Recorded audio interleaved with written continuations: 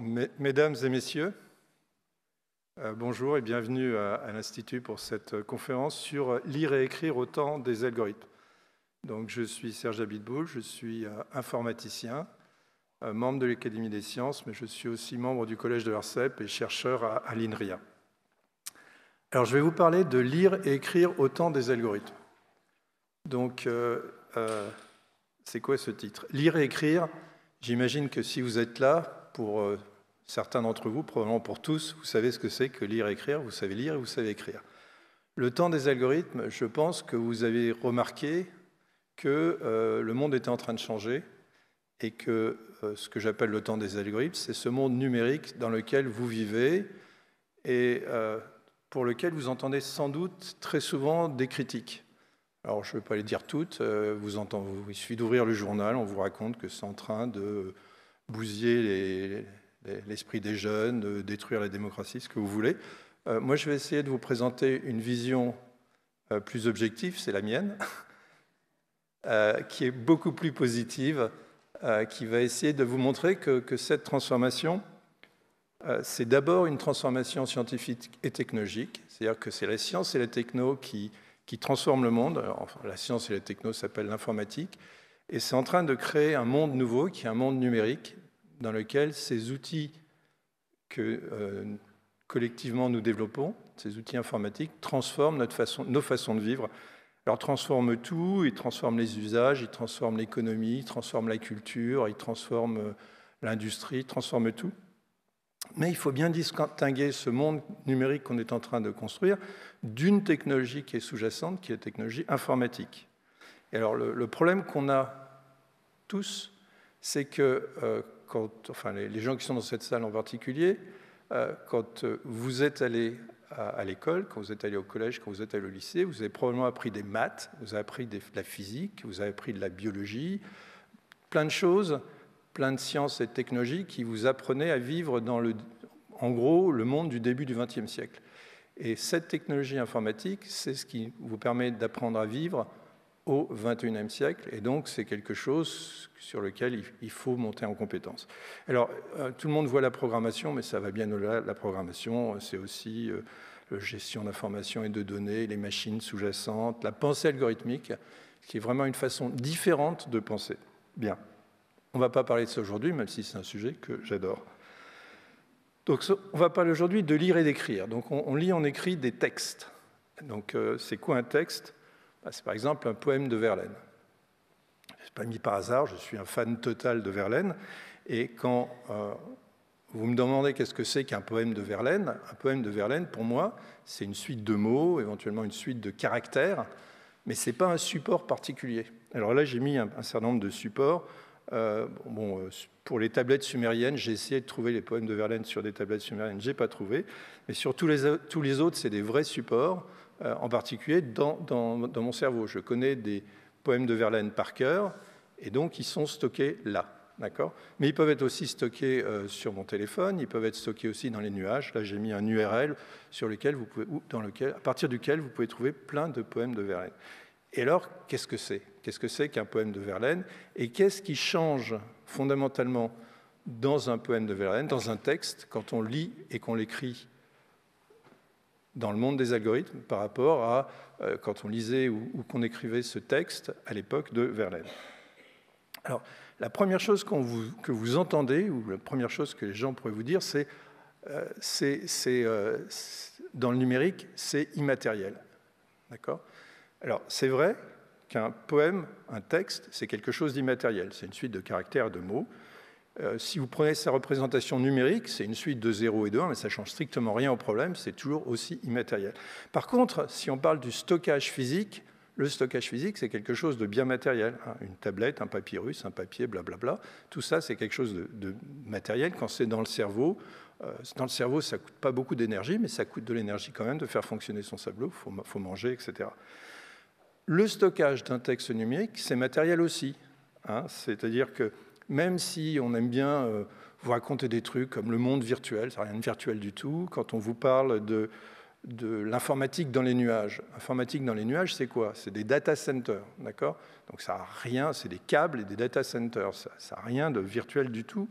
Et puis même si vous regardez d'un point de vue consommation d'énergie, environnement, ben, le numérique, ça, ça, ça, prend une part de, assez considérable de l'énergie mondiale. C'est moins que 5%, là j'exagère un peu, mais c'est quand même quelque chose de non négligeable. Bien. Alors, ce n'est pas la différence entre un texte numérique et un texte euh, euh, classique, ce n'est pas dans la matérialité. Alors, c'est où la différence? La différence, c'est dans la rivalité. Alors là, euh, pour ceux d'entre vous qui ne connaissent pas, une notion d'économie intéressante, c'est cette notion de rivalité. La rivalité, c'est une propriété d'un bien dont la consommation par un agent diminue la quantité de biens disponibles pour tous les autres agents. Alors, prenons des exemples, parce que là, comme vous regardez ça comme ça, moi j'ai relu trois fois avant de comprendre. Euh, un bien papier, un livre papier, c'est un bien rival. C'est-à-dire que si je vais à la bibliothèque et je prends ce livre pour le lire, plus personne ne peut le lire. Jusqu'à ce que je le ramène à la bibliothèque, personne ne peut le lire. Donc il y a une certaine rivalité dans ce bien, c'est-à-dire euh, on peut imprimer euh, des milliers de copies d'un livre, mais chaque copie a un coût. D'accord? Donc ça, c'est la rivalité.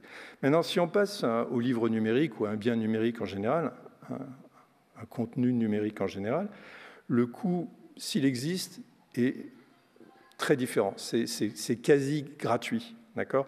Vous pouvez recopier un million de fois un texte numérique, ça coûte par exemplaire quasiment rien. Vous pouvez le distribuer sur, Internet pour quasiment rien. Donc voilà, c'est un bien qui est pratiquement non rival. Alors il y a un petit coût de diffusion, il y a un petit coût de stockage, mais massivement, c'est un bien non rival. Donc aujourd'hui, la grande différence avec ce qui se passait au temps de Verlaine, c'est que maintenant, on peut diffuser des connaissances à un coût quasiment nul. Et ça, c'est véritablement ce qui change. Donc on va reprendre ces notions de lire et d'écrire et voir comment c'est transformé par, par cette nouvelle technologie.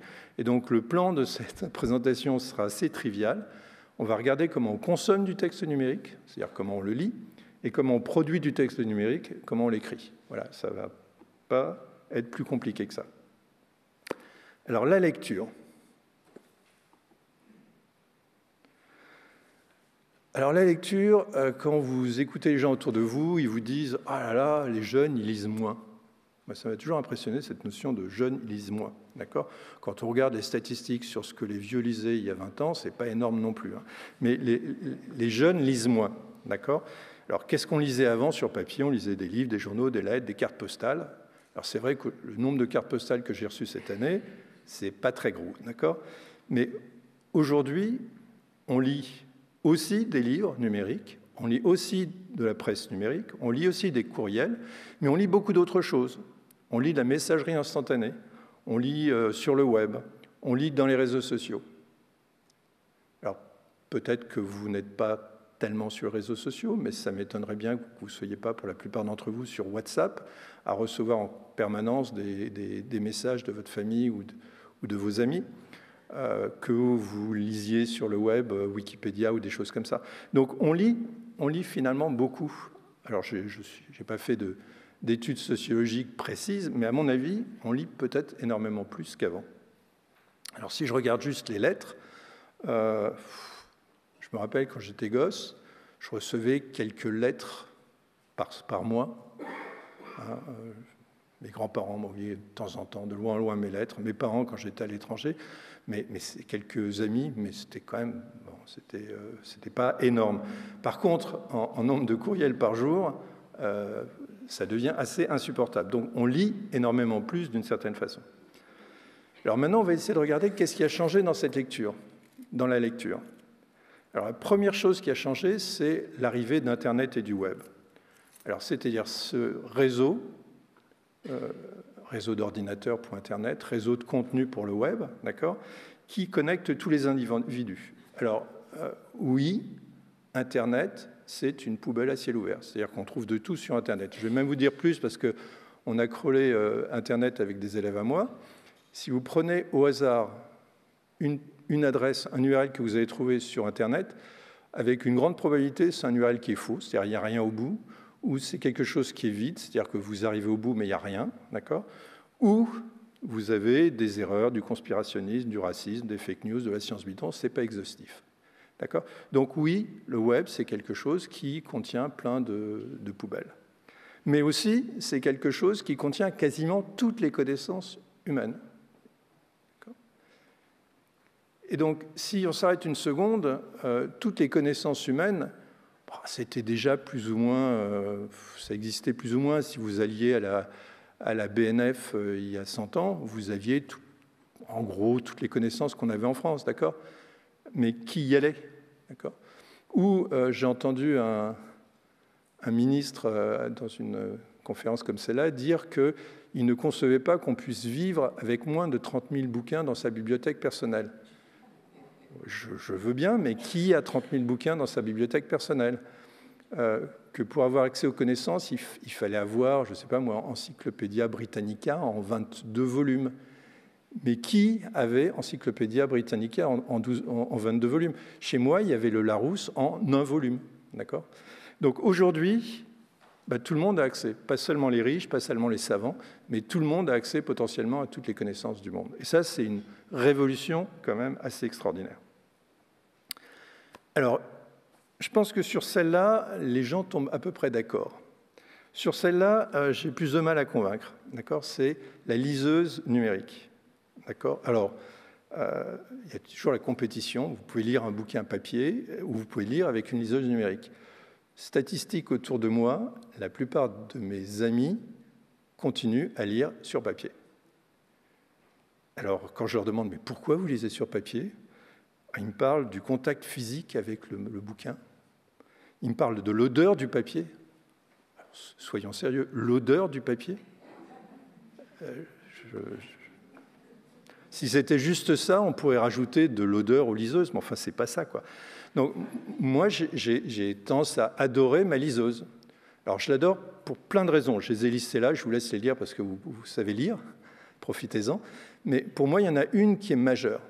Euh, bah, il y en a une autre qui est aussi le fait que je puisse lire avec du rétroéclairage, mais, il y en a une qui est majeure, c'est quand je pars, en, vacances, j'ai ma liseuse et il y a 20 bouquins dedans à lire. D'accord? Et, je n'ai pas besoin d'amener dans ma valise ou mon sac à dos 20 bouquins qui me casseraient le dos. J'ai une liseuse avec tous les bouquins, je veux dire. Euh, je suis au milieu de la Creuse, milieu de l'Eure-et-Loire, et, j'ai envie de lire un nouveau bouquin dont on m'a parlé, ben, je me connecte. Alors évidemment, il faut qu'il y ait une connexion Internet, mais en supposant qu'il y ait une connexion Internet, je me connecte, je télécharge le bouquin, et cinq minutes après, je l'ai acheté et je peux le lire. L'odeur du bouquin. Bon.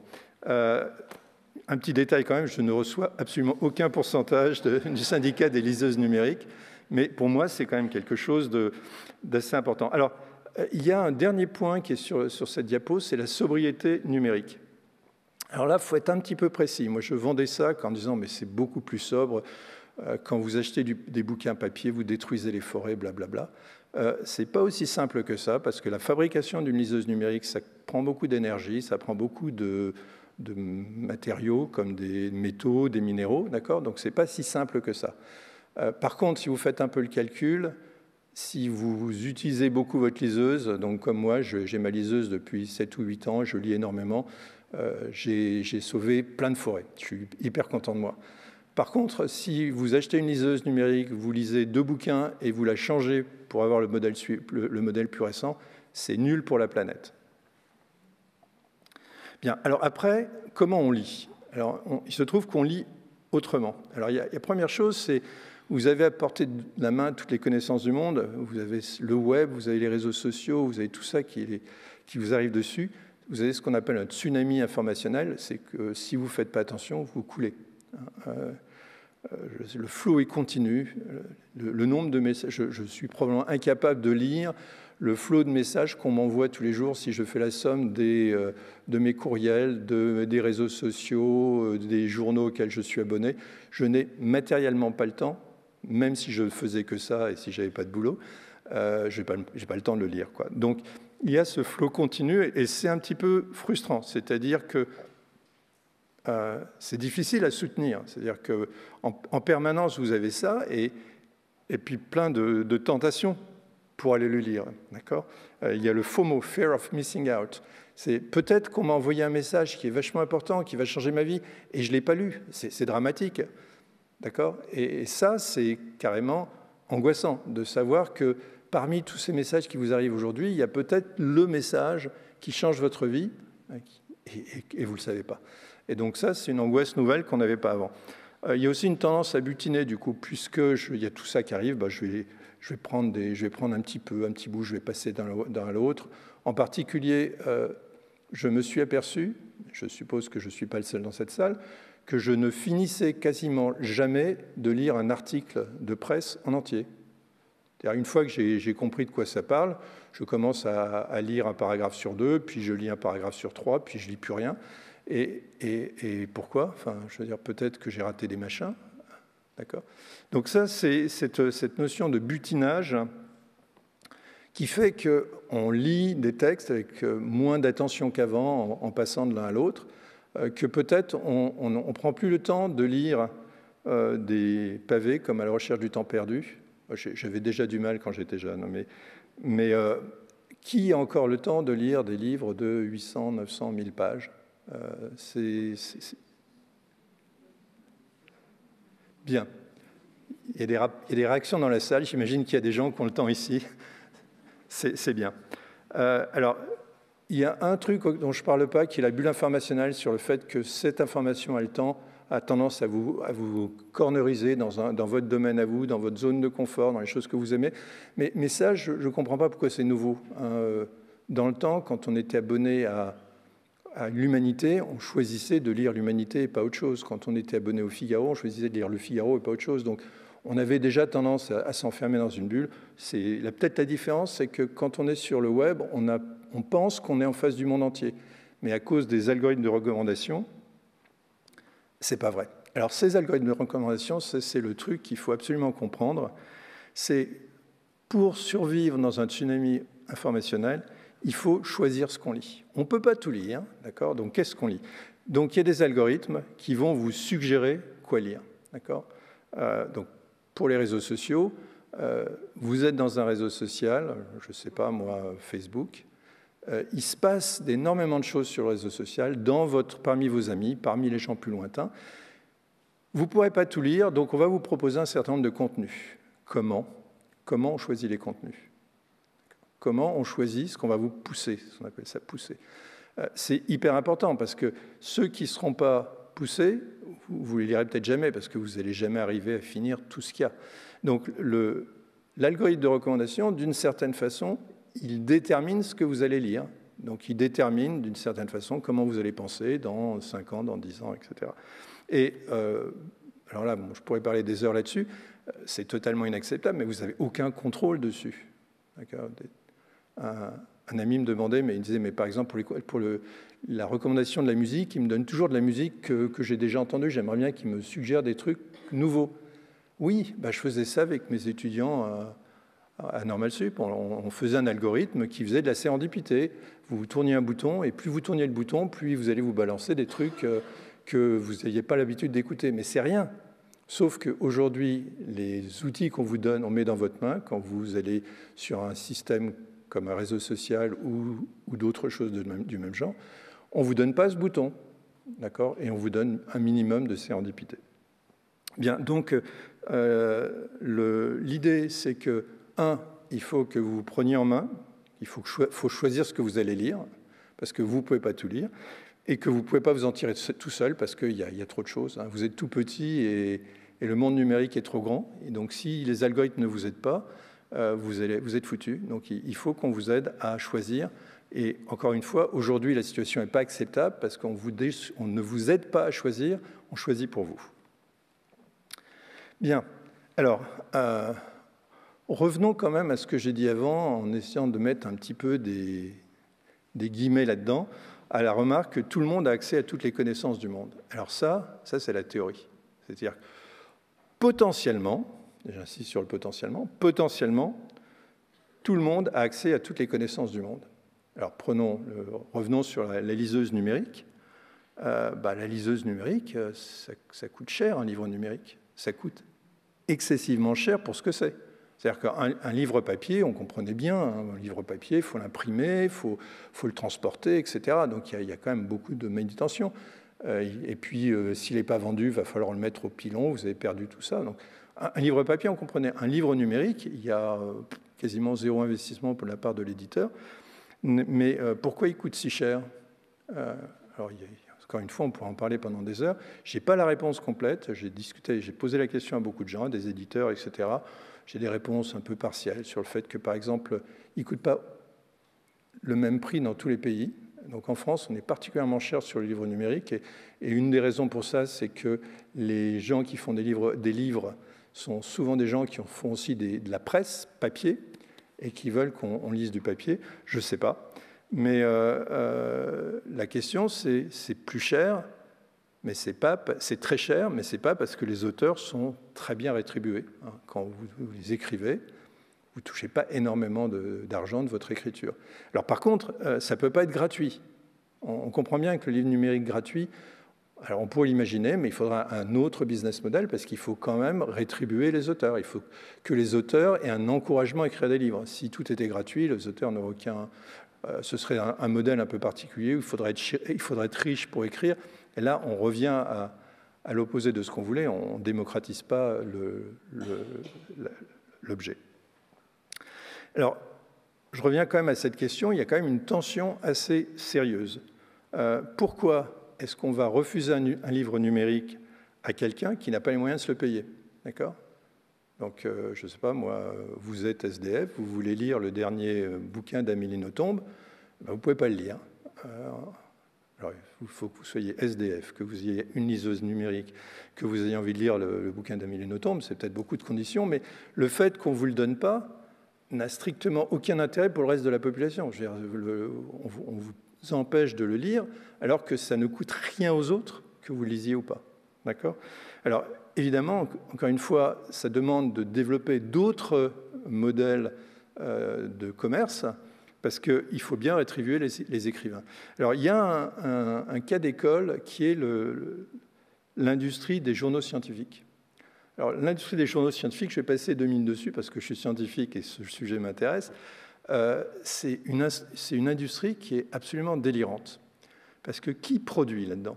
Les scientifiques. Alors, c'est eux qui écrivent les articles. C'est eux qui relisent les articles et qui les sélectionnent pour dire c'est bien, c'est pas bien. Euh, et puis en bout de chaîne, c'est aussi eux qui les achètent. Donc ils font tout le boulot, y compris les payer.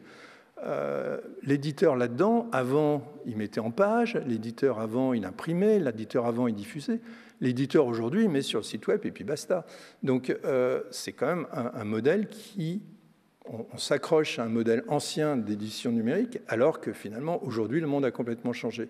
Alors, il y a des expériences assez passionnantes euh, pour, mettre l'édition numérique à la portée de tous, euh, comme par exemple un modèle dans lequel les euh, grands laboratoires, les universités qui ont de l'argent, etc., payent pour le journal scientifique, mais il paye en même temps pour que le journal soit, ouvert à toute la collectivité. C'est-à-dire que pour que le petit labo euh, au milieu de la brousse qui n'a pas d'argent puisse quand même y avoir accès, pour que les internautes que ça intéresse puissent y avoir accès, il n'y a que les gens qui peuvent se le payer qui l'ont. Donc c'est encore un modèle qui démarre, mais c'est un modèle intéressant. Et je pense que quand on parle du numérique, quand on parle de lecture et écriture, il faut imaginer de nouveaux modèles. C'est-à-dire qu'on peut prendre le modèle d'avant et le transporter, ça fonctionne, mais euh, il va falloir euh, faire des, contorsions. Pour le livre numérique, on va vous mettre des DRM, Digital Right Management. C'est le truc qui fait qu'un livre numérique, qui était un bien non rival, devienne tout un coup un bien rival parce qu'on a rajouté un truc euh, numérique dessus qui fait que vous pouvez lire que si vous avez la clé. C'est quand même très, très, très tordu, hein, vous m'excuserez. Mais c'est un peu ça. Alors j'ai mis Alexandra Elbakian sur cette diapo euh, parce que je suis un, big fan d'Alexandra Elbakian. C'est la dame qui fait SciHub.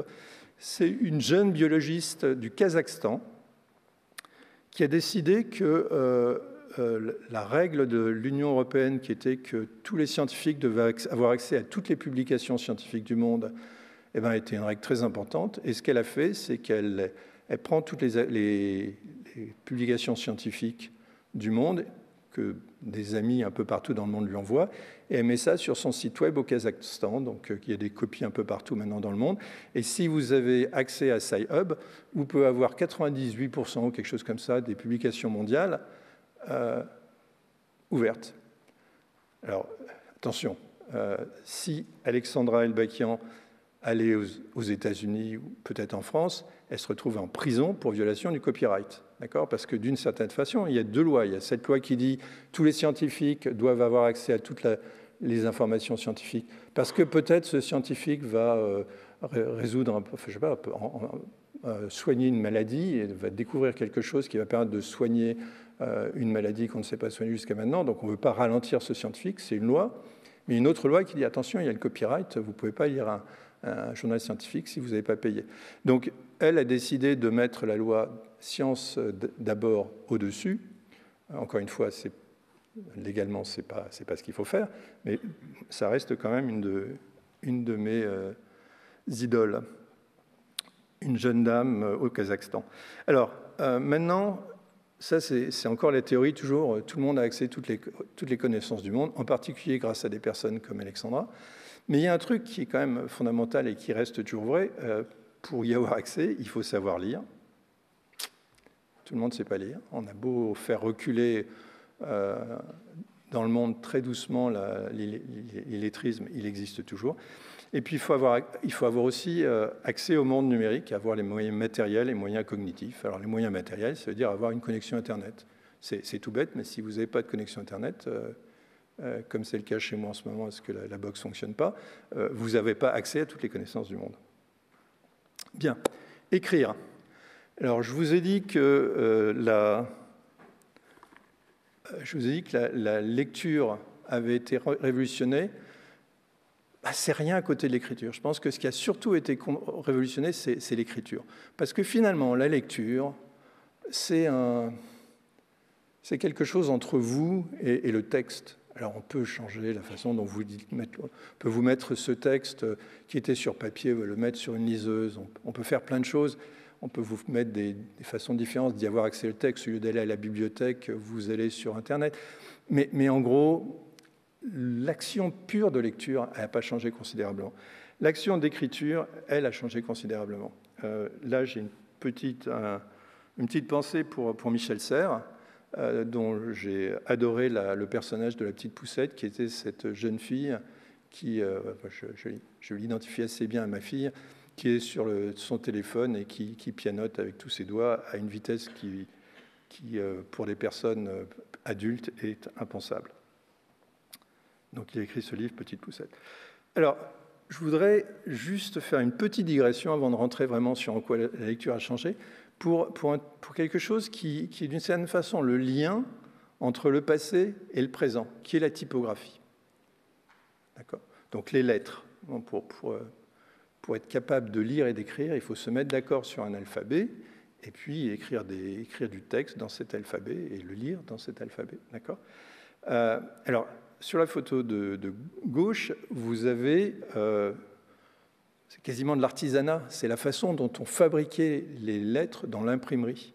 C'est pas, pas carrément de l'artisanat, c'est de l'artisanat, c'est-à-dire on, les sculptait.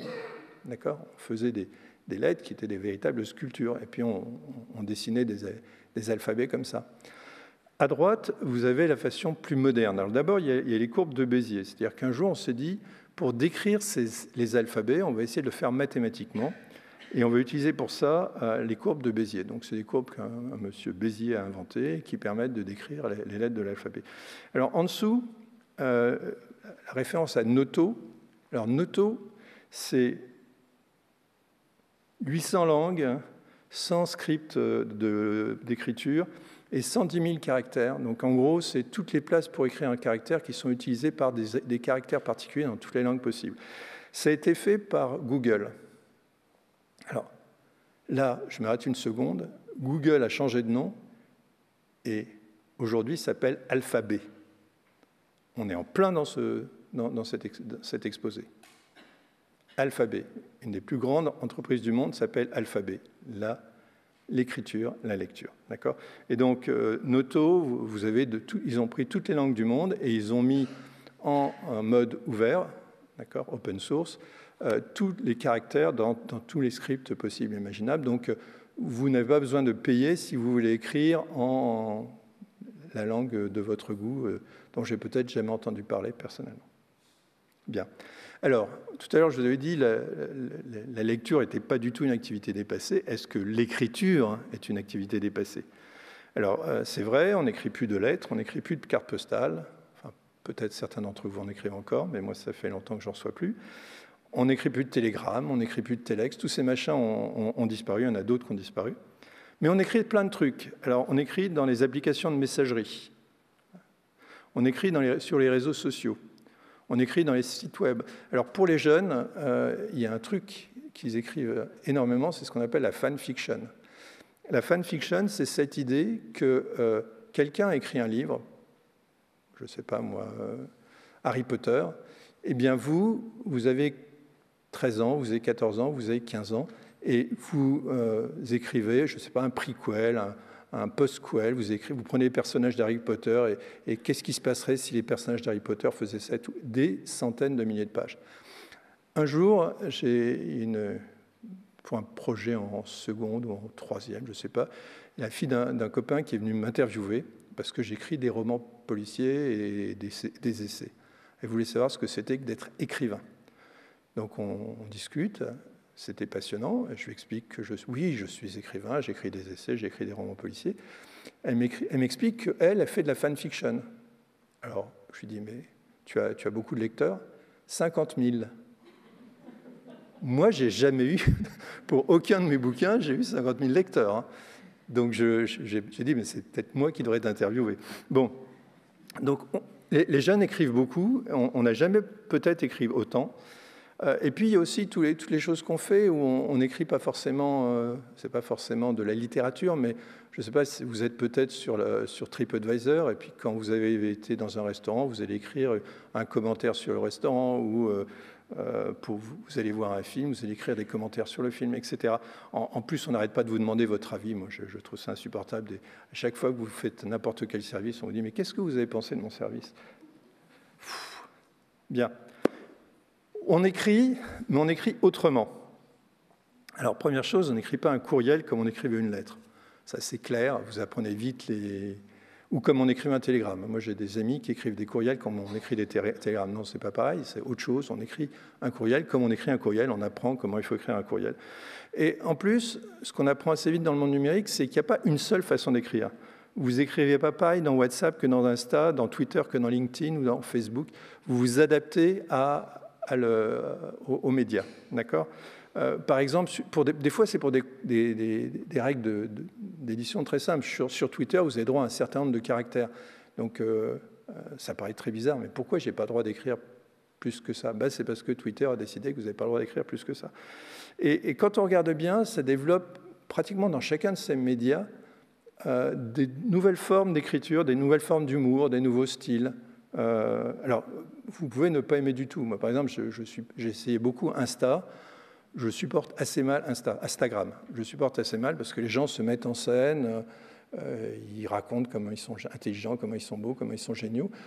Je trouve ça un peu insupportable, mais euh, il y a des millions de personnes qui, qui, vont sur Insta. Il y a des gens qui font 30 ou 40 photos par jour et qui mettent sur Insta et qui ont des dizaines de milliers de personnes qui les regardent. Donc, euh, ce n'est pas à moi de dire c'est bien, c'est pas bien. C'est un mode de communication qui est extrêmement populaire. Alors, tant qu'on y est sur la façon d'écrire autrement, euh, je n'ai pas pu résister à la façon d'écrire les SMS chez les ados. Donc ça, ça me rapporte, ramène à ma fille, dont je vous ai déjà parlé. Euh, au début, ces SMS, il fallait les lire oralement pour les comprendre. Donc vous avez tous eu déjà cette expérience. Il euh, ne faut pas essayer d'écrire comme eux, c'est une langue à eux. Et d'une certaine façon, si vous ne comprenez pas, c'est volontaire, c'est qu'ils ne veulent pas que vous compreniez. C'est une autre langue, d'accord?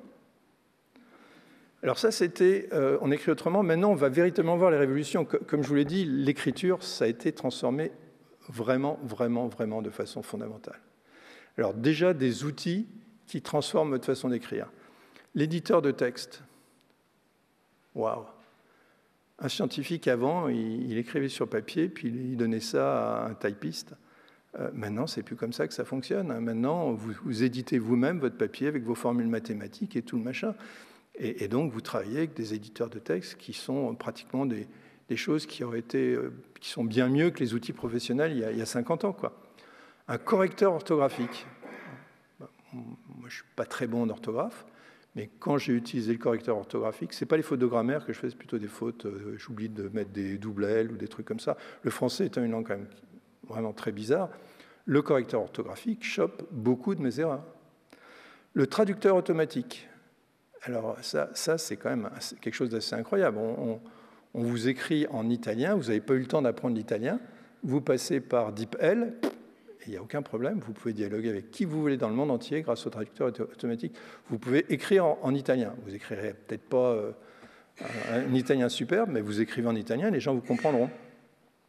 Chercher de l'information, c'est quand même autrement pratique de chercher l'information aujourd'hui quand vous êtes en train de rédiger un texte que c'était il y a, des, années. Les accès à les dictionnaires, enfin, moi, dans ma façon d'écrire, Wikipédia, c'est ce qui change le plus ma façon d'écrire des romans. Parce que quand j'ai besoin d'une information, je le trouve sur Wikipédia. À la limite, la difficulté, c'est d'éviter, de, et dans certains livres maintenant, vous commencez à, je commence à regarder en disant, oh là là, mais c'est beaucoup de couper-coller de Wikipédia. Il faut éviter de couper-coller de Wikipédia. Voilà. Euh, donc, de manière générale, votre façon de produire du texte a été complètement transformée par ces outils, par tous ces outils. Et alors ça, cette, cette, cette, conf est surtout pour l'écrit, mais si vous regardez l'image, c'est pareil. C'est-à-dire que dans ce téléphone, vous avez quelque chose du genre d'un labo professionnel de photographie qui est euh, beaucoup plus puissant et sophistiqué que les labos de photographie physique à la fin du XXe siècle. C'est complètement dingue ce que vous pouvez faire avec une photo numérique aujourd'hui. Bien, alors ça, première révolution. Et il y en a d'autres qui arrivent, hein, vous, vous, impatientez pas. Deuxième révolution de l'écriture, le web. Alors ça, on en a déjà parlé, c'est le fait que sur le web, vous avez mis en, lien tous les contenus du monde, mais il faut revenir un petit peu sur ce que c'est, parce que là, jusque-là, je vous ai surtout parlé du web comme un outil pour aller lire ce qu'ont écrit tous les autres. Mais le web, c'est aussi un outil pour produire du texte. D'accord? Alors, au début du web, euh, pour ceux qui sont assez anciens pour s'en rappeler, on ne produisait pas de contenu, on allait lire le contenu. Hein. Euh, il y avait quelques personnes qui étaient capables de mettre des sites web avec du contenu, mais ce n'était pas beaucoup. Et puis sont arrivés des outils comme WordPress qui vous ont permis de fabriquer des, sites web sans aucune compétence technique. D'accord?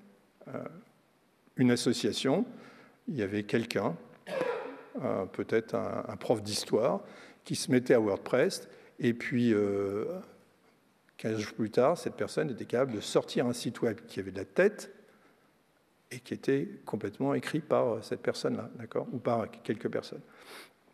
Deuxième étape. Troisième étape, le Web 2.0. Alors là, on peut non seulement écrire, mais on peut réagir à ce qu'écrit les autres, on peut euh, converser, on peut commenter. Hein. C'est-à-dire que c'est, d'une certaine façon, ça devient une agora. Le web devient une agora avec des gens qui, qui s'interpellent. Euh, et puis, euh, début du siècle, tout ça très très rapide, hein. on est entre 1990 ou quelque chose comme ça pour le, début du web, je ne sais plus exactement, et puis 2004 et la création des réseaux sociaux, tout ça va très vite, d'accord? On arrive à quoi? On arrive à ce que la parole soit possible pour tous. Euh, au début du XXe siècle, qui pouvait s'exprimer en public? Bah, qui pouvaient publier un journal ou écrire un bouquin, des journalistes, des politiciens, des gens riches, une partie infime de la population. Aujourd'hui, tout le monde peut le faire. Je connais des exemples d'une jeune fille dans le 93 qui avait une assoce, qui avait une bonne idée, qui a monté son site web, et puis il y a des dizaines de milliers de personnes qui sont devenues fanas de ce qu'elle faisait. Tout le monde peut produire du texte aujourd'hui, à condition de savoir lire et écrire. Troisième révolution, la, production collaborative. Alors ça, euh, vous en avez peut-être pas moins conscience que les autres, parce que c'est pour les gens qui écrivent en groupe, mais vous pouvez écrire un texte à plusieurs avec des outils euh, comme Google Doc ou d'autres qui vous permettent d'écrire collectivement un texte. Alors c'est pas récent. Euh, Je vais même vous raconter une expérience du XXe siècle là-dessus, mais peut-être qu'en tant que chercheur, on était un peu en avance sur la population générale. Au XXe siècle, j'ai euh, rencontré, je travaillais avec un collègue qui est Georg Gottlob, et il me, dit bah, J'ai un étudiant qui s'intéresse euh, vachement à ce que tu fais, Marco Mana. Donc il me met en contact avec Marco Mana. Et puis on a écrit une série d'articles avec Marco Mana sur le web en, s'échangeant des, mails, en, partageant des, textes qu'on écrivait collectivement. Donc on a écrit des articles qui ont été publiés dans des journaux. Un jour, trois ans plus tard, j'étais dans mon bureau et il y a quelqu'un qui frappe à la porte. La porte s'ouvre. C'était Marco. Je l'avais jamais rencontré. On avait écrit des tas d'articles ensemble. Je n'avais jamais rencontré ce type-là. Il me dit Ouais, je passais par là, je suis venu dire bonjour. C'est quand même plus sympa, on est allé boire une bière. C'est plus sympa comme contact que juste d'écrire ensemble sur Internet, mais vous pouvez le faire. Alors ça, c'est un, exemple très simple. On était trois à écrire l'article, mais vous pouvez écrire à 10, à 100. Maintenant, il y a des, publications scientifiques avec, avec des centaines d'auteurs, d'accord euh, En allant encore plus loin, Wikipédia, des centaines de milliers de personnes qui collectivement écrivent une, encyclopédie. Cela n'aurait juste pas été concevable avant l'arrivée de tous ces outils numériques. Alors, quelque chose qu'on paye, le, prix qu'on paye pour ça, c'est un peu l'affaiblissement de cette notion du droit de, l'auteur. Euh, Quand vous avez écrit un, article à, à, 100, 200 personnes, qui est l'auteur de l'article Quand vous êtes sur Wikipédia, vous ne savez pas qui écrit une entrée de Wikipédia. Vous avez beaucoup participé peut-être, mais il y a plein d'autres gens, vous ne savez pas qui. Donc l'auteur de, de cet objet qui est un texte, c'est une notion qui, a tendance à s'affaiblir c'est d'une certaine façon un retour en arrière, parce qu'au Moyen Âge, il n'y avait pas tellement cette notion d'auteur. C'est-à-dire que vous écriviez une pièce, et puis elle était jouée, les gens la, prenaient plus ou moins oralement, et puis quelqu'un d'autre reprenait cette pièce, la transformait. Certaines des pièces de, Shakespeare sont, complètement inspirées de pièces qui avaient été écrites avant. Donc euh, la, notion d'autorat, je ne sais pas si ça se dit, d'un texte, c'est quelque chose qui est finalement pas euh, aussi inné qu'on veut bien le dire. Alors voilà, ça c'est le truc qui est en train de changer aujourd'hui radicalement l'écriture, c'est l'intelligence artificielle générative. Donc vous avez sûrement entendu parler de ça dans les journaux. Donc là, il y a deux, euh, un texte et une image. Donc je pourrais vous demander, euh, est-ce que vous pensez que je les ai écrites moi-même ou est-ce qu'elles viennent d'IA générative Pas du tout, elles viennent toutes les deux d'IA générative. Donc celle de gauche est intéressante. J'ai demandé à une IA générative qui s'appelle Poète GPT, euh, écris-moi un poème à la Verlaine. ça ne ressemble pas du tout à la Verlaine. Il y a des trucs qui sont quand même assez drôles, comme l'essence, puis moi, on se connaît ben pas, pas ben ben. C'est un peu bizarre. Et puis, en tout cas, ça doit être fancy. Verlaine ne parlait pas comme ça. En fait, c'est parce que cette IA générative a été entraînée avec des textes en canadien-français. C'est de là que doit venir le ça doit être fancy. Donc, euh, l'IA générative, euh, sortez-vous de la tête que ce n'est pas une IA intelligente. Plupart du temps, quand on vous dit intelligence artificielle, il faut se méfier. Ce n'est pas du tout intelligent, ça ne comprend rien à son texte. C'est juste mis des mots un après l'autre en, suivant un thème, en, suivant des probabilités sur les, sur les mots. C'est donc de l'analyse de données et des probas, et c'est absolument pas du raisonnement.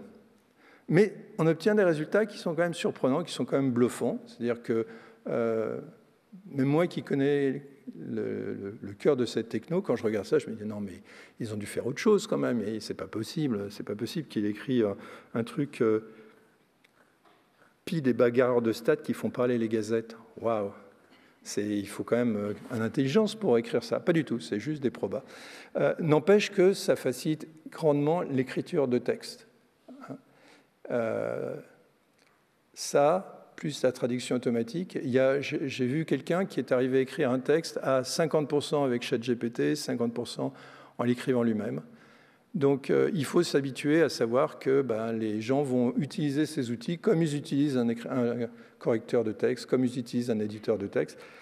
Mais il faut qu'ils apprennent à l'utiliser parce que si vous demandez juste un texte à une IA générative, la probabilité que ce ce qu'elle écrit soit un peu débile est pratiquement de 1.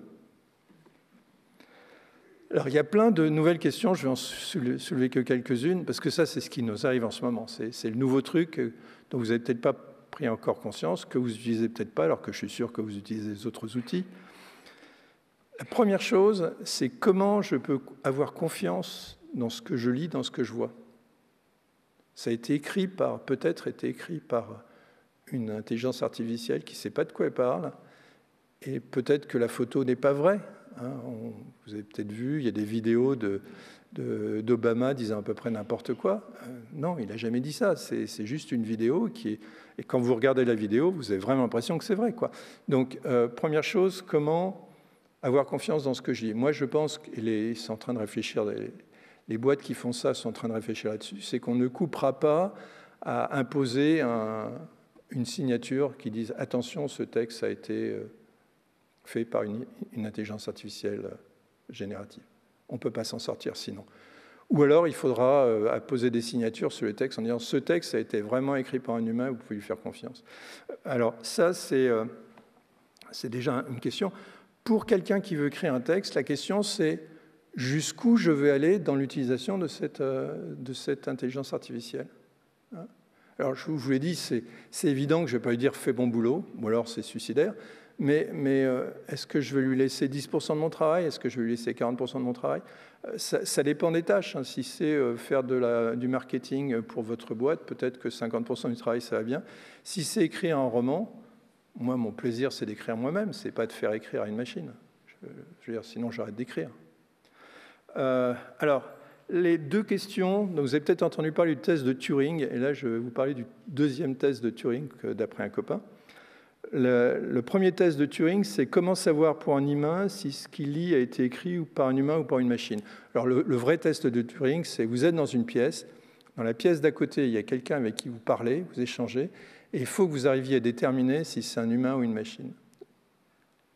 Donc euh, euh, le test de Turing est passé par la machine si vous êtes incapable de décider si c'est un humain ou une machine. Aujourd'hui, ce test, il euh, il est à peu près gagné par les machines. Désolé. Le, deuxième test est, plus rigolo aussi, c'est, vous imaginez, vous êtes, une machine, et puis dans la salle d'à côté, il y a un humain ou une machine, et il faut que vous sachiez si vous êtes en, train de parler à l'humain ou à la machine. Alors vous dites, on s'en fout. Pas du tout. C'est-à-dire que euh, ces IA génératives, comment elles fonctionnent? Elles vont trouver des textes, elles écrits par des humains. Et j'insiste bien, c'est important, les textes doivent être écrits par des humains, et elles vont générer des textes à partir de textes écrits par des humains. Mais maintenant, si sur le web, la moitié des textes ont été écrits par des machines, vous allez avoir des machines qui vont apprendre sur des textes écrits par des machines. Et là, on diverge. On diverge assez vite en plus. Donc il faut que la machine qui va lire un texte sache si ce qu'elle est en train de lire, c'est écrit par un humain ou par une machine. Problème, c'est qu'aujourd'hui, on ne sait pas écrire d'algorithme qui détermine si c'est un humain ou une machine. Donc, en gros, on est dans la mouise. Bien. Euh, je voulais parler aussi des, algorithmes de modération. C'est un petit peu loin de tous les sujets qu'on a abordés maintenant, mais ça me paraît important parce que c'est euh, quelque chose qui, aujourd'hui, euh, nous concerne tous. c'est des algorithmes qui... Alors, pardon, la modération, c'est ce qui nous permet de bloquer certains contenus. Alors, on les bloque parce qu'ils sont illégaux. Alors, il y a des lois qui disent qu'on n'a pas le droit de balancer sur Internet des contenus terroristes ou pédopornographiques. C'est des lois. Et donc, euh, si vous mettez un de ces contenus, il faut qu'on l'interdise. Et ça, c'est par la loi. Et puis, il y a les, contenus qui sont indésirables. Euh, je ne sais pas, vous, faites des messages violents, agressifs, haineux, euh, vous, écrivez des fake news. bah ça, on aimerait bien que ça ne paraisse pas. Donc, on aimerait bien bloquer ce genre de messages. Alors, au début, on a pensé qu'on allait mettre des humains pour faire cette tâche. Les humains sont petits par rapport à la grandeur du web. Il y a des milliards de contenus tous les jours et on ne peut pas mettre un humain devant chaque contenu qui est, posté sur le web, c'est juste pas possible. D'accord? Alors on peut dire, bon, on va essayer de les mettre devant les contenus indésirables. Bah, vous allez, c'est ce qu'on fait aujourd'hui dans les, plus des les plus grandes de plateformes de modération. Vous avez des humains qui passent leur journée à regarder du contenu euh, terroriste ou du contenu pédopornographique. C'est pas cool pour la santé intellectuelle de la personne. Donc on ne peut pas, s'en sortir, il faut que ce soit réalisé par des, par des machines.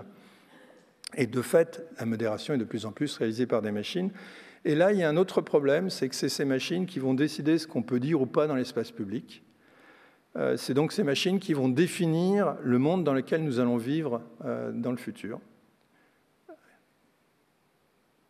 C'est quand même un problème, d'accord? Alors, il y a du travail au niveau européen notamment là-dessus, avec le Digital Services Act, qui, va dans un plus grand contrôle des contenus. Alors, j'arrive à la conclusion. La première chose que vous allez me poser, peut-être, euh, qu'on pourrait me poser en tout cas, c'est ça va trop vite. Est-ce que ça va se calmer? Euh, Ben, je ne sais pas. Mais euh, plus précisément, qu'est-ce que vous voudriez savoir? Est-ce que ces logiciels vont pouvoir un jour faire le travail d'un juge, d'un médecin ou d'un coiffeur? D'un juge, ils le font sur les parties les plus faciles d'un médecin, ils le font sur les parties déjà un peu sophistiquées, comme de reconnaître des tumeurs cérébrales ou des tumeurs du poumon, mais ils ne remplacent évidemment pas les médecins. D'un coiffeur, ça on ne sait pas encore faire, c'est plus compliqué que de faire un juge ou un, médecin. Euh, est-ce qu'un logiciel pourrait être un jour un poète comme Verlaine, créatif comme Picasso, comique comme Coluche ou brillant comme Einstein? Euh, Tout ça, je ne sais pas. Hein, euh, je, suis scientifique et pas futurologue, donc il faut demander à quelqu'un d'autre ce, genre de questions. Mais je vais vous rappeler quand même ce qu'on a appris de l'histoire, ce que j'ai appris de l'histoire. On a entendu pendant longtemps, euh, les ordinateurs peuvent jouer aux échecs, mais ils battront jamais un champion des échecs. Ils l'ont battu. Ils battront jamais le champion du monde des échecs. Ils l'ont battu. Ils ont dit, ouais, mais les échecs, c'est facile. Le Go, c'est plus compliqué, ils n'y arriveront pas. Un ordinateur a battu le champion du monde de Go. Alors, euh, on a fait Géopardy, on a fait plein d'autres jeux à chaque fois, ils ont fini par gagner malheureusement. Euh, on a dit. Alors c'est marrant parce qu'on dit en général les deux. il y a des gens qui disaient, euh, quand j'étais étudiant, il y a des gens qui disaient jamais on sera capable de traduire un texte. Et il y a des gens qui disaient on sera capable de traduire un texte dans dix ans. Alors, ce qui est intéressant, c'est que les deuxièmes, les, seconds, on continue à dire pendant tous les dix ans, on, on y arrivera dans dix ans, on y arrivera dans dix ans, on y arrivera dans dix ans. Ben, le problème, c'est qu'on y est arrivé. Aujourd'hui, euh, DeepL ou Google Translate, en gros, ça traduit, la texte, ça traduit un texte. Ce n'est pas parfait, ça s'améliore, mais ça traduit un texte. On a dit qu'ils ne pourraient jamais conduire une auto. Ben, Aujourd'hui, ils peuvent conduire des autos, ils peuvent même conduire des avions. Alors, un secret que je veux partager avec vous, ce qu'on m'a dit, je ne sais pas si c'est vrai, c'est qu'aujourd'hui, on pourrait faire des avions sans pilote humain. Et la seule raison pour laquelle on met des pilotes humains, c'est pour euh, euh, ne pas inquiéter les passagers. Sinon, il n'y en a pas vraiment besoin. D'accord? Bon, alors, on, a fait tous ces trucs-là. Euh, est-ce qu'on pourra faire un juge, un médecin, un coiffeur? J'en sais rien, mais je n'oserais pas dire qu'on ne pourra pas. Surtout que si vous réfléchissez bien, cette nouvelle science, cette nouvelle technologie, elle est très jeune. Elle n'a a pas, pas 100 ans. En gros, euh, les années 1950. Euh, Donc, si on a fait tellement de choses en, moins de 100 ans, qu'est-ce qu'on va faire maintenant? Ben, On va continuer à améliorer et je ne pense pas que ça va se calmer. Par contre, revenons à, nos moutons. la lecture et l'écriture, la magie est restée la même. Alors, j'ai toujours rêvé de lire un morceau de poème de, Verlaine, mais dans les cours d'informatique, ça ne se prête pas. Donc là, je vais me faire plaisir. Les sanglots longs des violons de l'automne blessent mon cœur d'une langueur monotone, Voilà. Alors ça, c'est la magie totale. Euh, c'est une suite de caractères, c'est une suite de mots. On ne changera rien à cette magie, elle continuera à exister et on continuera à avoir des poètes qui écrivent de très beaux poèmes et on continuera à des gens qui prendront un plaisir immense à lire ces très beaux poèmes. Ça, ça ne change pas. Euh, ce qui doit changer, c'est la responsabilité des internautes. Euh, on a une responsabilité collectivement de se comporter dans un monde numérique, d'apprendre à se comporter dans un monde numérique. Et donc ça, c'est, en gros, je reprends le plan de secours, ça veut dire qu'il faut lire de manière responsable, il faut choisir ce que vous lisez, il faut vérifier ce que vous lisez, il faut critiquer ce que vous lisez.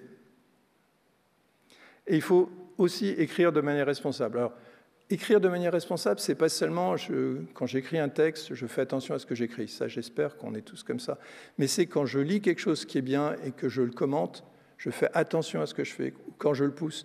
Si on revient sur ces contenus terroristes, euh, par exemple Christchurch, donc c'est un terroriste qui filme toute cette scène atroce, terroriste, où il est en train de tuer des gens, et il publie ça sur le web. OK? C'est pas terrible. Mais ce qui n'est pas terrible non plus, c'est les dizaines d'internautes qui regardent ça en disant Ah, c'est horrible, et ils le repostent. Non, non, non, non, non on ne fait pas ça, d'accord? On réfléchit à ce qu'on fait, on doit être responsable de ce qu'on fait. Alors, aussi, l'autre chose, c'est que responsable, ça veut dire aussi plus participer. Et, aujourd'hui, c'est difficile. Donc, il, va falloir se battre, il va y avoir des combats pour que les utilisateurs, les internautes, obtiennent le droit d'être plus participatifs. Donc, participer à la recommandation, participer à la modération. Alors, il y a des trucs qui existent. Par exemple, il y a le,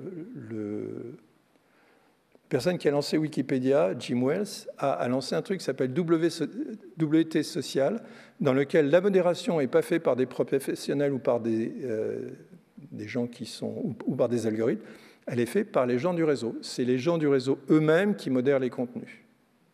Comme Wikipédia, en fait. Wikipédia, les, éditeurs s'automodèrent. C'est possible de le faire. Ça veut dire qu'il faut réduire le nombre de, de postes. On ne peut pas faire un milliard de postes par, jour comme ça, mais ça veut dire qu'on peut le faire. Il faut se prendre en main, et ça, ça demande du travail. Euh, alors, alors, alors, alors, on est dans un monde numérique. La science qui est derrière, la technologie qui est derrière, c'est l'informatique. Donc il faut apprendre à lire et à écrire, bien sûr, à compter comme avant. Lire, écrire, compter, ça n'a pas changé. Mais il faut aussi apprendre à programmer. Alors quand je dis apprendre à programmer, en gros, il faut apprendre l'informatique, les bases de l'informatique.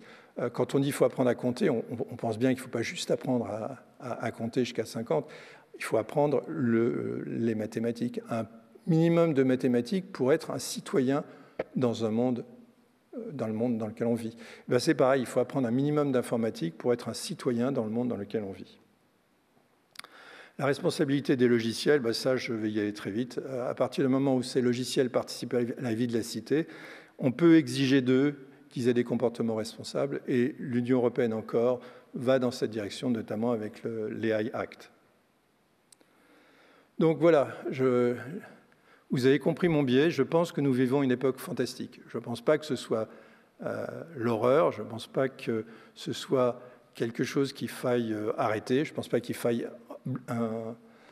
arrêter Internet, je ne pense pas qu'il faille arrêter de, faire du numérique, au contraire, mais il faut, il apprendre à vivre dans ce monde. Et, même s'il change un peu trop vite pour nous, il faut apprendre à nous adapter. Il faut profiter au mieux de tout ce que le numérique nous apporte comme de mettre toutes les connaissances à la portée de tous. Il faut maîtriser les menaces qu'il fait peser sur nous. Pour en venir à cette présentation, la lecture et l'écriture, ça a beaucoup changé, ça continuera à changer, il ben, faut continuer à, inventer en permanence cette lecture et cette écriture. Alors, je vais finir par un peu de pub.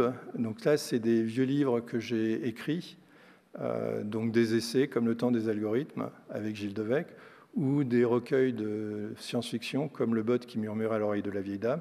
Je fais de la pub aussi pour le blog qu'on fait avec des copains qui s'appelle Binaire, c'est un blog du monde sur l'informatique. Euh, plus récemment, j'ai publié avec Jean Catan, euh, qui est secrétaire général du Conseil national du numérique, Nous sommes les réseaux sociaux, pour ceux qui veulent comprendre un peu mieux comment fonctionnent les réseaux sociaux. Et puis pour ceux qui ont l'occasion d'aller à Avignon, euh, une pièce de théâtre. On a écrit une pièce de théâtre avec Gilles Devec et Laurence de Villers qui s'appelle Kiak et Garoutia, qui est sur l'intelligence artificielle. Donc si vous êtes à Avignon, c'est une grande première mondiale et vous êtes invité à, à aller y assister. Et là-dessus, je vais vous remercier de votre attention.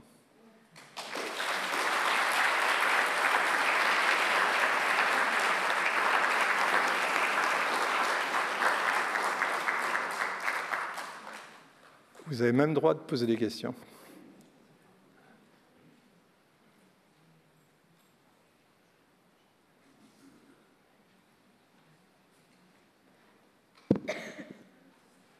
Alors ça, c'est soit que j'ai été particulièrement clair, soit que j'ai été particulièrement rasoir.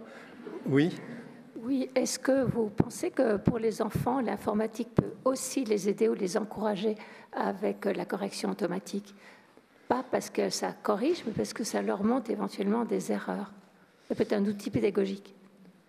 Alors oui, euh, l'informatique peut être un, énorme outil pédagogique. Ça peut apprendre beaucoup de choses. La correction automatique en particulier, mais je, pense qu'il plutôt que la correction automatique qui a tendance à, les mettre dans un côté un peu plus passif, il y a des logiciels, des, euh, outils pour apprendre euh, l'orthographe, par exemple, si c'est ça que vous pensez, qui sont plus adaptés à l'âge, qui s'adaptent aux enfants, etc.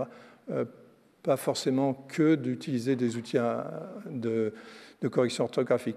Ça, mis à part, les, outils de correction orthographique m'ont fait énormément progressé en orthographe. Et ma fille, qui faisait un nombre de fautes absolument incroyable, elle arrive à faire 40 euh, fautes euh, à ses copies, à ses, dictées euh, au cours moyen. maintenant écrit avec, disons, moins de fautes d'orthographe. Donc on peut faire des progrès. Alors il y a beaucoup d'autres logiciels pédagogiques. je pense aussi que l'informatique peut être très formatrice dans une pédagogie parce que c'est typiquement de la pédagogie par projet. On n'enseigne pas l'informatique au tableau comme on, enseigne, euh, on enseignait avant les maths ou la physique. On enseigne l'informatique en faisant des projets. Donc les gens travaillent en groupe, donc il y a l'apprentissage du travail en groupe.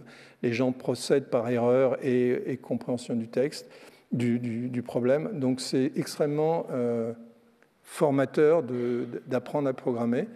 il y a aussi des, je finirai là-dessus, des choses qui s'appellent l'informatique euh, euh, non connectée, je ne sais plus si c'est le terme exact, pour euh, le primaire, c'est-à-dire sans même ordinateur, mais juste utiliser des, questions de, logique, d'organisation de son temps de travail, d'organisation des enfants à travers des jeux, c'est assez ludique, pour apprendre les bases de l'informatique tout en apprenant beaucoup de choses comme l'organisation, la logique, etc. Donc ça s'appelle l'informatique non connectée il n'y a pas besoin d'ordinateur, mais c'est bien ça qu'on apprend, c'est la pensée informatique bonjour. Je ne vois pas où vous êtes. Bonjour. Euh, vous nous avez dit en gros que les humains devront apprendre à maîtriser le, numérique. Euh, le risque n'est-il pas que le numérique dépasse les humains avant qu'on arrive à le maîtriser quoi? Euh, il, faut, il faut remettre l'église au milieu du village. L'informatique, c'est une technologie qui a été développée par des humains. Les programmes, ce sont des productions par des humains. Ce pas des trucs qui nous viennent des extraterrestres. Et donc, il y a dedans ce que les humains ont mis, d'accord? Et, rien de plus. Euh, quand je vois des films, alors c'est des très beaux films de science-fiction qui racontent comment une machine, euh, par exemple HAL, va vouloir prendre le pouvoir. Euh, une machine va vouloir prendre le pouvoir si quelqu'un lui a mis dedans comme objectif de prendre le pouvoir. Si on lui a mis comme objectif de servir les humains, je ne vois pas pourquoi il va prendre le pouvoir. Donc je ne crois pas du tout à, ce genre d'inquiétude. Euh, ce qui n'empêche pas qu'il faut quand même faire attention, puisque c'est une technologie qui est forcément très puissante, qu'il faut faire attention à toutes ces, à, toutes ces dérives. Mais euh, moi, je pense, j'ai moins de crainte pour de l'intelligence artificielle pour euh, bousiller la planète que de la bêtise humaine, euh, notamment sur euh, tout ce qui est environnement et, destruction de l'environnement. Ça m'inquiète beaucoup plus que les risques qu'une intelligence artificielle prenne le pouvoir. Mais il faut rester vigilant. La technique, toute technologie a un risque, donc il faut faire attention. Je ne vous dis pas on ferme les yeux et on ne regarde pas. Bonjour. Oui. Euh, merci de, ce que nous avons euh, reçu aujourd'hui. C'est vraiment. Euh, on se sent plus confiant par rapport à ces sujets. Et ma question, c'est quelle est pour vous l'évolution du Bitcoin, de toutes ces, monnaies numériques, jusqu'où ça va nous amener? Merci. Alors là, c'est une question qu'il faudrait demander plutôt à un économiste, parce que je ne maîtrise pas du tout. Donc moi, ce, dont je peux vous parler, c'est la technologie sous-jacente qui s'appelle la, blockchain. Donc la technologie sous-jacente, la blockchain, à des applications qui sont, à mon avis, beaucoup plus intéressantes que le Bitcoin, mais bon, je ne suis pas économiste, euh, qui permettent de faire une, permet de faire la gestion d'un registre de façon complètement distribuée sans qu'il y ait d'autorité. Et donc, euh, vous pouvez imaginer, du, de, je sais pas, de, gérer le cadastre ou des choses comme ça, ou de gérer des échanges financiers entre banques sans qu'il y ait un, maître. Donc ça, c'est très intéressant. Il y avait un problème technologique euh, sérieux dans la technologie blockchain et le Bitcoin comme on l'utilise aujourd'hui, c'est que cette technologie était totalement délirante d'un point de vue d'utilisation de l'énergie. C'est-à-dire qu'elle utilise une énergie qui est absolument considérable. Euh, en gros, euh, on fait des tas de travaux, inutiles pour faire tourner l'algorithme, mais des, travaux qui sont vraiment, on vous donne, on donne à des ordinateurs un puzzle, on voit celui qui résout le puzzle le plus vite possible. Enfin, on est dans le délire total.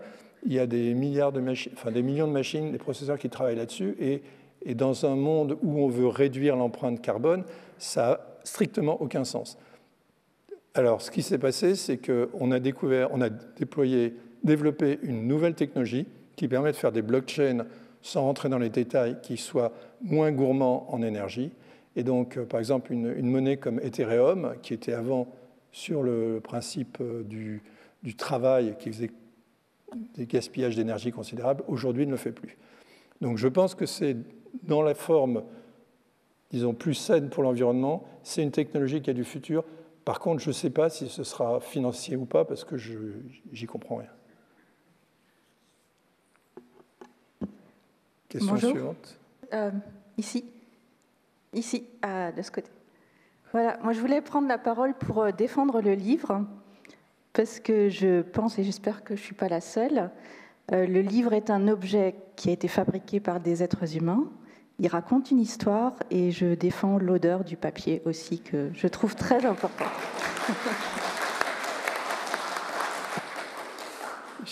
La, réaction de la salle, la réaction de la salle est assez claire.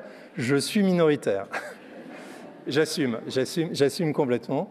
Euh, euh, encore une fois, là où je suis pas d'accord avec vous, c'est que je suis un dingue total du livre. Vous me dites le livre, le livre, moi je suis fanat total du livre. J'écris des livres, je lis des livres, et je ne pourrais pas vivre sans le livre. La seule différence entre nous, qui n'est pas fondamentale, c'est que pour moi un livre c'est numérique et pour vous un livre c'est papier. Mais fondamentalement c'est la même chose. Alors je ne suis pas tout à fait d'accord parce qu'on parle de deux choses différentes, ou de trois peut-être. Vous parlez de la chose immatérielle qui est racontée, du côté intellectuel. Et moi, je vous parle de ce que l'être humain a choisi comme moyen pour exprimer son idée, c'est-à-dire qu'il passe à travers le livre, qui passe par le toucher, on le touche avec les mains, les yeux ne voient pas la même chose. Du coup, je pense qu'on parle de deux choses différentes, même si on parle de la même chose. C'est un peu complexe. Non, non, mais j'ai violemment présenté une vision biaisée du problème parce que je voulais vous amener à réfléchir là-dessus. Mais euh, encore une fois, j'ai bien conscience, parce que tous mes amis me le disent, qu'il euh, y a plein de gens pour qui euh, le plaisir de lire un, livre, c'est de le lire sur le papier. Ce n'est pas le mien. Mais, merci pour votre commentaire. Oui, s'il vous plaît. Vous avez, vous avez évoqué la notion de responsabilité des logiciels et euh, des réflexions à l'Union européenne sur le sujet. Est-ce que ce n'est pas un peu théorique au sens où euh, si ma machine à café m'explose à la figure, la responsabilité n'est pas la responsabilité de la machine à café. C'est soit ma responsabilité si je l'ai mal branchée, soit celle du constructeur. Et dans le cas d'une machine qui va apprendre sur des jeux de données qu'elle pourra peut-être même choisir de façon quasi autonome, comment fera-t-on pour déterminer la responsabilité? C'est une excellente question. Euh, je ne suis pas juriste, mais je vais vous donner ma réponse, mais c'est une question qui, mérite d'être approfondie. Alors, pour moi, euh, la responsabilité, ce n'est pas forcément la personne qui écrit le logiciel. Euh, ce n'est pas non plus la personne qui écrit les, textes sur lequel ce logiciel a été entraîné. Pour moi, la responsabilité de la personne, c'est la, responsabilité de la personne qui l'utilise et la personne qui a déployé ce, logiciel. Donc c'est un petit peu délicat. C'est-à-dire que euh, si vous êtes une entreprise et que vous vendez un logiciel, pour moi, vous êtes responsable de ce logiciel. Même si ce n'est pas vous qui l'avez écrit, même si ce n'est pas vous qui l'avez entraîné, c'est votre responsabilité. Quand vous mettez sur le, sur le web ou quand vous mettez sur le marché un produit, c'est votre produit, c'est votre responsabilité et c'est à vous de, de, vérifier euh, si, un, si un, programmeur a fait une erreur, ben, c'était à vous de la détecter. C'est un peu délicat, mais je pense que c'est la seule façon dont, on s'en tire. Parce que si vous regardez bien aujourd'hui, c'est un sujet qui me passionne, mais dont je n'ai pas parlé ici, c'est qu'aujourd'hui, la plupart des logiciels intéressants, importants, sont des logiciels ouverts, des logiciels libres. Donc, c'est-à-dire que quelqu'un a développé un logiciel parce qu'il a envie de le faire, il l'a mis au service de, de l'humanité, et quelqu'un d'autre va prendre ce logiciel et le réutiliser dans un service. Pour moi, ce n'est pas la personne qui écrit le logiciel qui est responsable, c'est la personne qui déploie un service. De la même façon que si vous utilisez le théorème d'Archimède et si l'avion se casse la gueule, ce n'est pas Archimède qui est responsable. Mais, encore une fois, je n'ai pas la prétention d'avoir répondu à votre question qui est très complexe en, en cinq minutes, surtout que je ne suis pas juriste.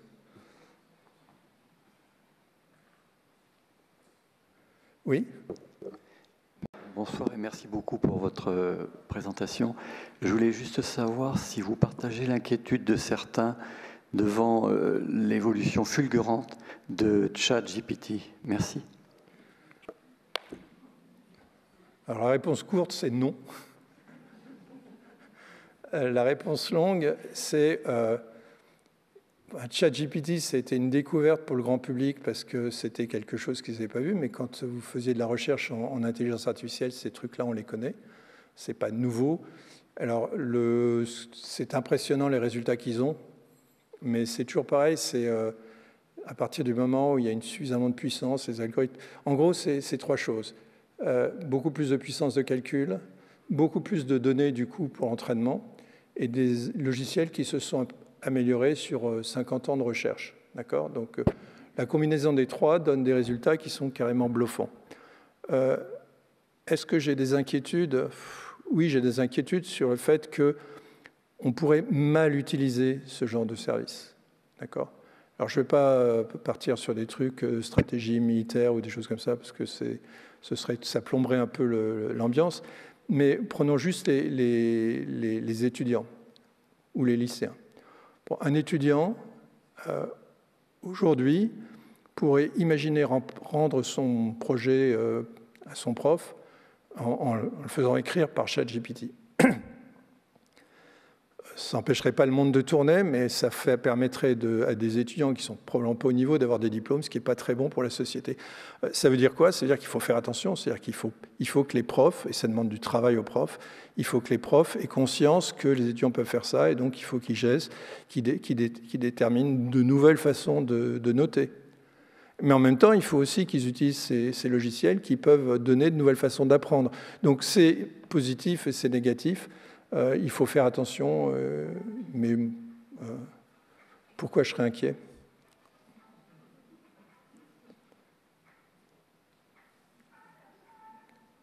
En fait, je suis un peu inquiet quand même. D'autres questions? Oui, moi, je, je, je, vous remercie. Je suis au premier rang. Pardon. je me pose la question du temps de réflexion. Est-ce que, envahi par toutes les informations de partout, est-ce que les, les, les, enfants, les adolescents et, et les adultes, est-ce qu'on a le temps de réfléchir? Est-ce qu'on apprend à garder le temps de réfléchir? Ou est-ce qu'on va s'arrêter directement à la première information venue? Moi, je sais que quand on regarde une, quand on cherche une information euh, ça arrive sur Google euh, de telle sorte que la première information, c'est celle qui a été consultée par les plus de gens, mais ce n'est pas forcément la meilleure. Moi, ça m'arrive très souvent de faire trois écrans avant d'arriver sur le site qui me paraît être le plus fiable pour avoir la réponse. Mais est-ce que j'ai complètement tort? Ah, ah non, non, non. Évidemment, vous avez raison. Et évidemment, euh, j'aurais dû insister encore plus là-dessus. Le fait qu'il y ait toute cette information disponible et nous amène à une exigence encore plus forte d'être critique sur ce que nous voyons. Et donc, euh, non, le temps de réflexion n'a pas disparu, il doit être là. Le temps qui est, moins nécessaire, c'est le temps d'apprendre par cœur, le temps de stocker de l'information. L'information est là, mais par contre, il faut la digérer, il faut la comprendre, et ça, ça n'a pas changé. D'accord? Et, il faut aussi réfléchir. Euh, je fais des mathématiques et de l'informatique. Quand vous avez un problème, pour trouver sa solution, il faut que vous appreniez à comprendre le problème, il faut que vous passiez le temps à bien le décortiquer pour trouver et inventer une solution. Et ça, ça prend du temps. Alors, c'est vrai qu'il va y avoir une tentation euh, de dire bah, je vais demander à ChatGPT ou à n'importe qui, puis j'ai plus besoin de réfléchir. Non, ça, c'est pas comme ça qu'on apprendra l'informatique ou les mathématiques. De la même façon que c'est pas comme ça qu'on apprendra l'histoire ou c'est pas comme ça qu'on apprendra euh, la, biologie. Il faut, pour la science comme pour les humanités, il faut le temps de la réflexion, il faut comprendre ces phénomènes. Et euh, oui, il faut le temps de, réfléchir. Et oui, c'est toujours aussi important d'apprendre aux, élèves qu'on réfléchit, on pense, on analyse et qu'on ne trouve pas comme ça, euh, sous les pas, sous les pas d'un cheval, la solution. Vous, avez complètement raison. Moi, je pense qu'il faut vraiment développer encore plus chez les jeunes l'esprit critique, parce que c'est ça qui va être, nous permettre de nous, de nous guider dans, ce truc-là. Monsieur? Qu'il faut guider les jeunes, je crois. Moi, j'ai l'amour des livres, j'ai l'amour des reliures, de l'odeur du papier. Par exemple, je ne concevrais pas de lire Balzac sur une plaquette, et je pense que les jeunes ont besoin d'avoir ce respect des livres qui n'aurait jamais avec une tablette des belles reliures, des belles impressions et tout cela. Écoutez, euh, je, respecte totalement votre respect des livres, de, du papier, etc. Mais encore une fois, je reprends euh, mon exemple. Euh, il y a combien de gens, combien de personnes avant qui pouvaient avoir une, bibliothèque avec 10 000 bouquins, des livres reliés, des, beaux livres, qui pouvaient aller consulter, se plonger dedans, prendre du plaisir? Aujourd'hui, tout le monde peut avoir accès à toute la littérature. Et pour moi, ce qui est important, je suis passionné de livres comme vous, mais pour moi, ce qui est important, c'est le, livre. Alors, c'est la distinction que faisait Madame. C'est pour moi, ce qui est important, c'est le livre comme contenu. Euh, le contenant, je suis aussi euh, fan de bibliothèques, de musées, de choses comme ça. Donc, je pense que ça restera toujours le, fait d'aller voir euh, une, Bible de Gutenberg dans un lycée, ce sera dans un musée, ce sera toujours la même beauté, le même plaisir. Mais pour ce qui est de la lecture, pour moi, euh, on est en train de passer dans un monde où la lecture se fera sur le papier. Mais peut-être que je me trompe. Bonjour. Je vous remercie de la tonalité positive et optimiste que vous donnez à votre exposé. Néanmoins, quand on a observé au niveau politique les manipulations au XXe siècle et les erreurs humaines, les catastrophes du XXe siècle, alors que tous ces moyens n'existaient pas, euh, je trouve que c'est un sacré credo d'afficher un tel optimisme. Alors, euh, vous avez tout à fait raison de remarquer, de remarquer que euh, les grandes catastrophes comme euh, le nazisme se sont passés à une époque où il n'y avait pas de réseaux sociaux. Donc au moins, on ne peut pas dire que c'est la faute des réseaux sociaux. Bien, donc cela dit, euh, cela dit euh, pour moi, le numérique nous amène, met à la, disposition des humains des moyens considérables, mais il faut bien concevoir que ces moyens, c'est à nous de les utiliser de façon positive et, bonne pour l'humanité. Je suis complètement d'accord avec vous, il y a des risques tout aussi considérables. Par exemple, on peut imaginer un contrôle de toute la population massive, un contrôle massif de la population avec les outils de surveillance numérique. Moi, ça me terrorise, ça. Ça, je veux bien. Mais c'est à nous, en tant que citoyens, nous sommes dans une démocratie, c'est à nous d'imposer que ces outils-là ne soient pas utilisés. C'est à nos élus, les gens qu'on élit, nous, de dire que non, on n'a pas le droit de faire de surveillance massive de la population. Mais encore une fois, j'ai jamais voulu dire qu'il n'y avait pas de risque, je suis conscient des risques, mais je pense qu'on a les outils pour euh, aller contre ces risques. À quel moment on arrête? Est-ce que je peux...